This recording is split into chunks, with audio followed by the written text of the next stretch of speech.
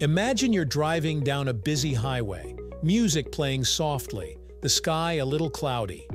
Suddenly, the car in front of you slams on its brakes. You barely have time to think, let alone react. But your car? It already has. Before your foot even touches the brake pedal, your vehicle has started slowing down automatically. Ever wonder how that's possible? Today, we're diving into the fascinating world of emergency braking systems, how they work, how they react so fast, and why they've become such an essential safety feature in modern vehicles, right here on History of Simple Things.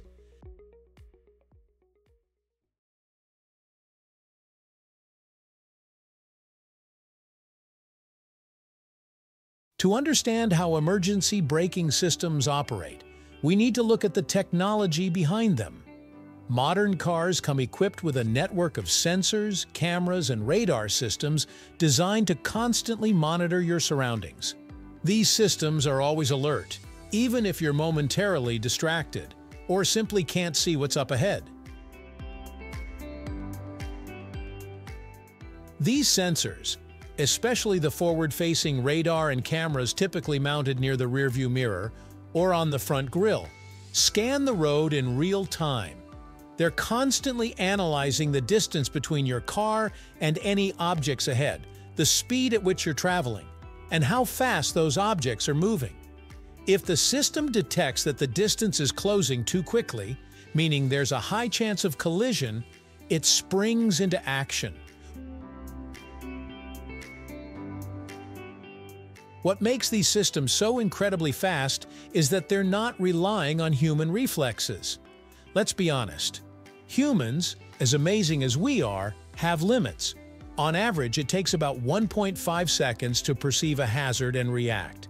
That may not sound like much, but at highway speeds, that's enough time to travel the length of a basketball court. In that time, a lot can go wrong. That's where emergency braking systems come in. They react in milliseconds. When a potential collision is detected, the system goes through a series of split-second steps. First, it sends an alert, usually a flashing warning on the dashboard and a loud beep or vibration. This is to give you a heads up, just in case you haven't noticed the danger yet. If you do hit the brakes yourself, the system doesn't just back off. In many cases, it actually assists you by applying maximum braking force if it detects that you haven't pressed hard enough. This is known as brake assist.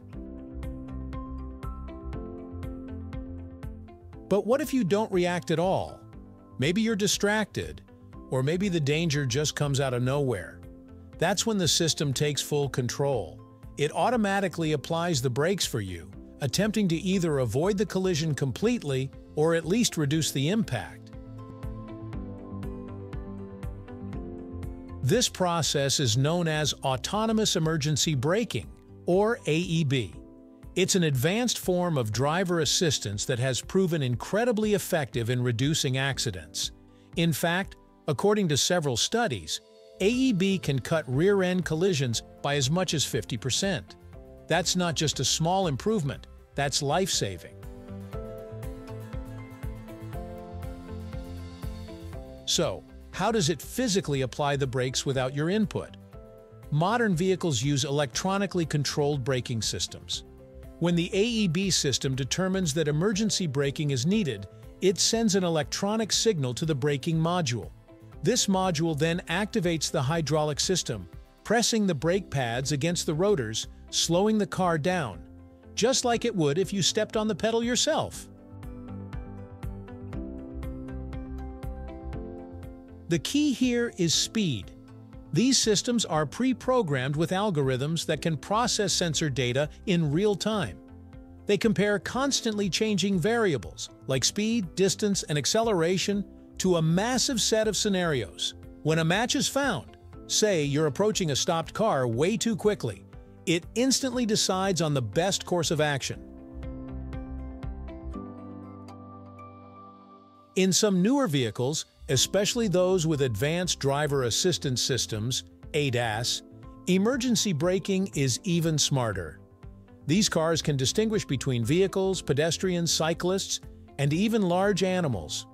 For instance, if a child darts into the street chasing a ball, the system can recognize the shape and movement pattern, calculate the collision risk, and brake, sometimes faster than any human could. You might be wondering, what happens in bad weather, or if the sensors are dirty or obstructed?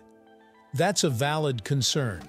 While today's systems are remarkably reliable, they're not perfect. Rain, snow, fog, or mud can interfere with sensors.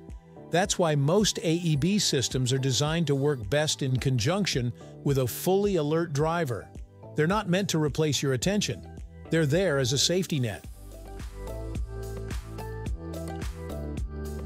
It's also worth mentioning that emergency braking technology is constantly evolving. Some high-end cars now incorporate LiDAR, light detection and ranging sensors that offer even more precise data than traditional radar or cameras. LiDAR can create a 3D map of the environment around your car, making it even better at detecting obstacles, especially in low-light conditions. What's truly amazing is how all of this happens so seamlessly. You don't feel a robotic hand take over the wheel, you don't see gears turning or wires moving. Instead, you might just feel a sudden jolt, your car stopping short, the seatbelt tightening across your chest, and then nothing happened. The accident was avoided. The system did its job. Emergency braking systems are one of those innovations that highlight the incredible marriage between software and hardware in the automotive world. It's not just about machines acting faster than people. It's about giving humans a second chance when seconds matter most.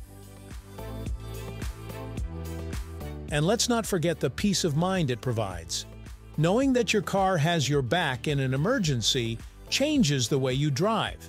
You may still be cautious, attentive, and responsible, but there's a layer of security that wasn't there a decade ago. Parents feel safer with their teens behind the wheel. Older drivers benefit from the added safety net. Even the most skilled drivers can appreciate the backup.